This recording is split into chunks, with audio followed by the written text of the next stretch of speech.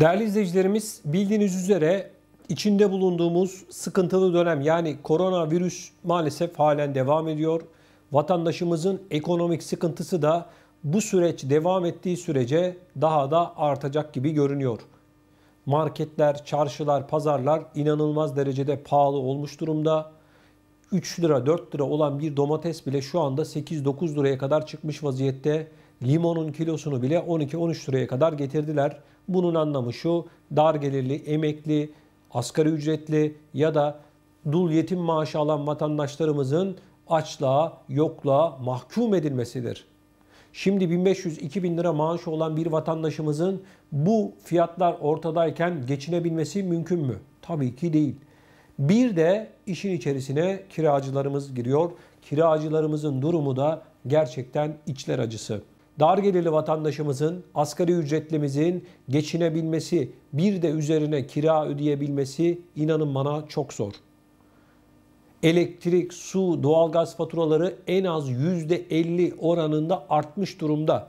Şimdi bu koronavirüs döneminde ne dediler? Evde kal, evde kal, evde kal. Tabii ki evde kalalım. Bunda bir problem yok. Doğrusu da bu zaten. Ama vatandaşın tüketimi arttı. Elektrik tüketimi arttı, su tüketimi arttı, gaz tüketimi arttı. Gelinen noktada vatandaşın maaşı hiçbir şekilde artmadı. Hatta milyonlarca vatandaşımız artık para kazanamıyor. Sadece hizmet sektöründe sigortalı olarak çalışan 16 milyon vatandaşımız var. 16 milyon. Garson, berber, çaycı, şoför, turizm sektörü, Bunların hepsini topladığımızda 16 milyon kişi şu anda para kazanamıyor. Bir de üzerine artan fiyatlar, emeklilerimizin durumu zaten çok çok kötü. Gelinen noktada vatandaşımız gerçekten içler acısı. Bir de vatandaşımız eğer kiracıysa yaşayan bir ölü demektir. Kusura bakmayın. Bu paraları alan yani asgari ücret civarında altında üstünde her neyse alanların geçinebilmesi, bir de üzerine kira ödeyebilmesi imkansız. Vatandaş onun için bankaya borçlu, onun için yakasını bankalardan kurtaramıyor. Mümkün değil. Biraz sonra size değerli izleyicilerimiz açıklanan enflasyon rakamlarına göre yeni kiralar ne kadar olacak, yeni kiralar ne kadar artacak bunları tek tek size listeli bir şekilde anlatacağım. Yeni kiralar ne kadar? Ama onun öncesinde vatandaşın bankalara olan borcunu kısaca konuşmak istiyorum izniniz olursa. Bakın ülkemizdeki kredi kartı sayısı 70 milyon. Bunun anlamı şu herkesin cebinde en az 2 tane 3 tane kredi kartı var demektir. Evet herkesin cebinde en az 2 tane kredi kartı varsa toplamda da 70 milyon kredi kartı varsa bankalar bu milletin sırtından korkunç paralar kazanıyor demektir. Her bir kredi kartının da yıllık üyelik ücreti var. 100 lira desek buna yılda arkadaşlar yaklaşık 7 katrilyon eski parayla para yapar. 7 katrilyon korkunç para. Bankalar buna rağmen vatandaşın sırtından inmek ne bilmiyor. 10 bin lira destek kredisi çıkardılar biliyorsunuz. Çok az insan 10 bin lira alabildi. Çoğuna reddediler ya da 3 bin lira verdiler. Hala cevap alamayan vatandaşlarımız var. Korona başladı neredeyse bitecek. Ramazan başladı neredeyse bitecek ama vatandaşa halen bir cevap verilmiş değil. Bu krediyi alırken de tek bir şart var. Hane gelirinin yani evde yaşayanların toplam geliri 5 bin liranın altında olacak. Vatandaş gitti. Vatandaşa dediler ki sicilin bozuk. Kredi puanın düşük. 50 dereden 50 su getirdiler bu parayı vermemek için. Oysa devlet bu kredinin %85'ini garanti etti. Kredi garanti fonu dedi ki ben vatandaşa kredi verdiğinde bunun %85'ini örneğin 10 bin lira verirsen bunun 8500 lirasını ben garanti ediyorum dedi. Buna rağmen vatandaşa kredi vermediler. Hadi buyurun. Devlet paraya kefil oluyor. Devletin kefilliğini kabul etmiyorlar. Devletin kefilliği yok. Kabul etmiyoruz diyorlar. Devlet kefil oldu. Kredi garanti fonu devlet. Sayın Cumhurbaşkanı çıktı ne dedi? Verin kardeşim dedi. Millete verin bu parayı. Ama vermediler. Sayın Cumhurbaşkanı'nın kefilliğini kabul etmiyorlar bu bankalar. Şimdi size bir soru. Vatandaş zor durumda değil mi? Zor durumda. Fiyatlar almış başını gidiyor. Marketler en az %50 zamlanmış vaziyette. Marketlerdeki ürünler. Peki 2000 lira maaşı olan vatandaş nasıl ay sonunu getirecek? Nasıl getirecek soruyorum size ya. Mümkün mü? En zor zamanda milletin yanında olmayan banka ne zaman milletin yanında olacak?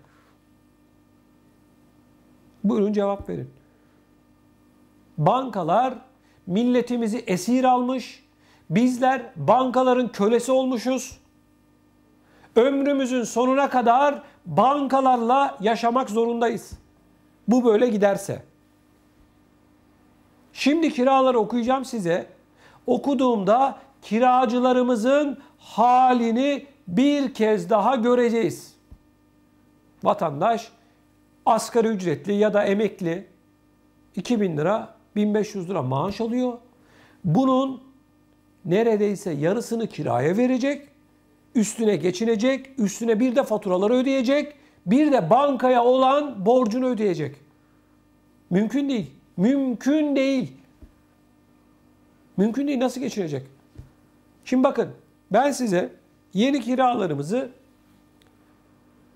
açıklanan enflasyon rakamlarına göre tek tek sayacağım. Bakın 1000 lira kira ödeyen bir vatandaşımızın yeni kirası 1126 lira olacak. 1100 lira kira ödeyen vatandaşımızın yeni kirası 1239 lira olacak. 1200 lira kirası olan bir vatandaşımızın yeni kirası 1351 lira olacak. 1300 lira kira ödeyen bir vatandaşımızın yeni kirası 1464 lira olacak. 1400 lira kira ödeyen bir vatandaşımızın yeni kirası 1577 lira olacak.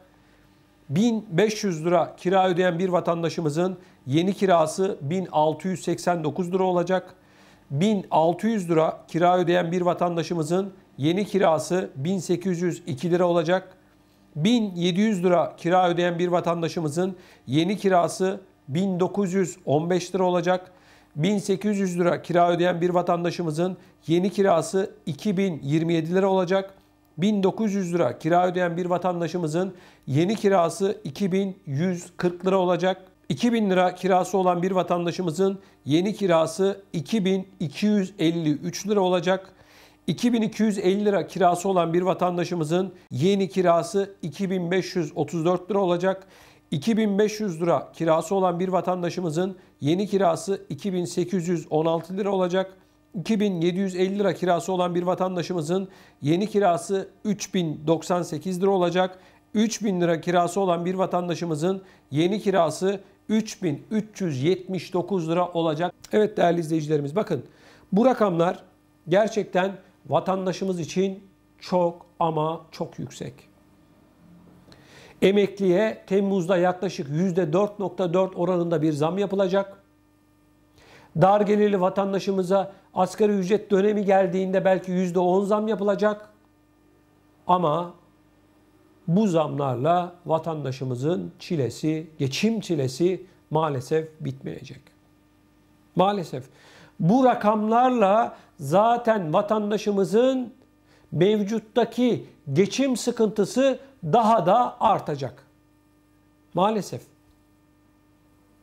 Doğalgaza son bir yılda %66 zam geldi. Elektriğe son bir yılda %53 zam geldi. Ama emekliye Temmuz'da biz %4.4 zam vereceğiz.